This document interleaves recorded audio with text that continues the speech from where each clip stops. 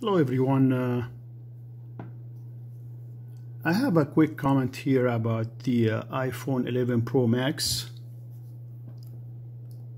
Uh, it's something that I'm not sure if it's normal or not. Uh, I just got this phone like uh, three weeks ago when I came from uh, Android. I used to use Samsung phones and LGs and I looked at the iPhone. It really looks cool and very nice phone.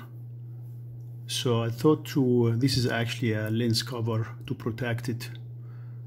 Uh, I just noticed uh, recently actually I have the phone like I said for three weeks and uh, I had it on a charger on the phone uh, on the uh, outlet and the car and I noticed it does get really warm really warm.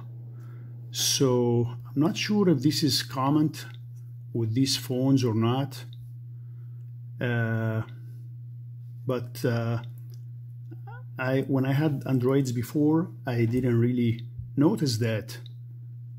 Uh, I called Apple and they told me to bring it to uh, their center here in Tampa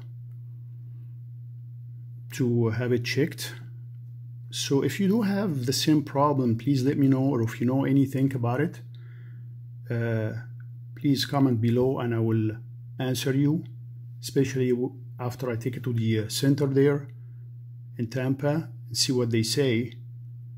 I will definitely let you know or answer your comment below about if that's something uh, comment I mean, common with uh, with the phone or not, or is it an issue with my phone? And if you do have one of these phones, please let me know also uh, if you have the same problem, and I will answer you as soon as I hear from them. Thank you very much, and I'll see you at the next video.